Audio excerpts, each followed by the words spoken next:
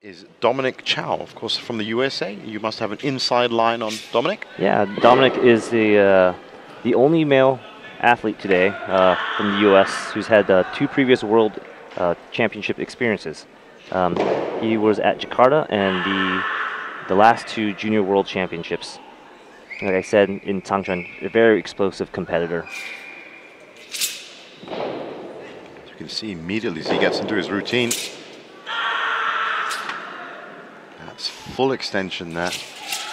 Almost all the limbs.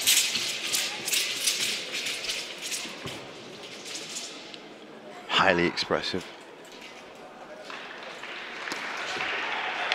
Check outside 540.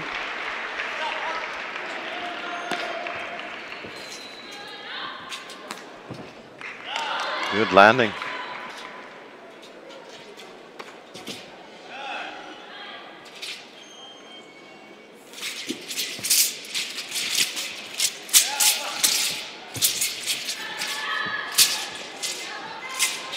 Great sword work around the body.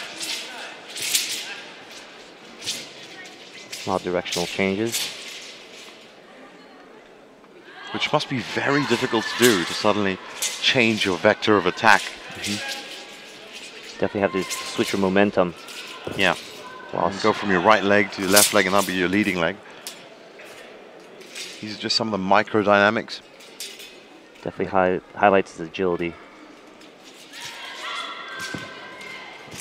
Great body movement there.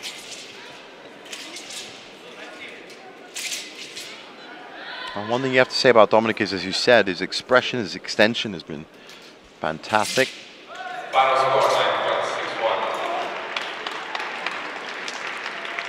And that concludes his routine. Dominic Hoyan Chow representing the USA. Once again, 9.65 is the entry for the medals. And there's a host of um, post nines.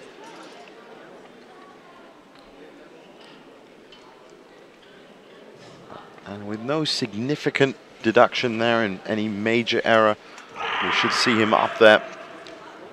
Most probably within the nines, but of course I am not an international club, so I'm just guessing that.